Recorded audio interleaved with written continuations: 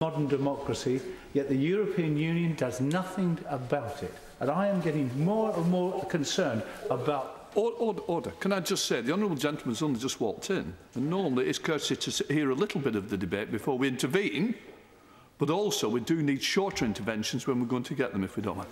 Michael Connarty, it's up to you whether you want. I do understand the emotions that are running among those who have been very pro-EU uh, uh, in their... In their The member for Huddersfield should know better than challenge the chair. It's not my fault because he may be somewhere else in the chamber. If his preference is to be on a committee here, that's his choice. But don't expect to walk in and actually intervene on the chair in that way. Michael Connarty, I, I've made my route.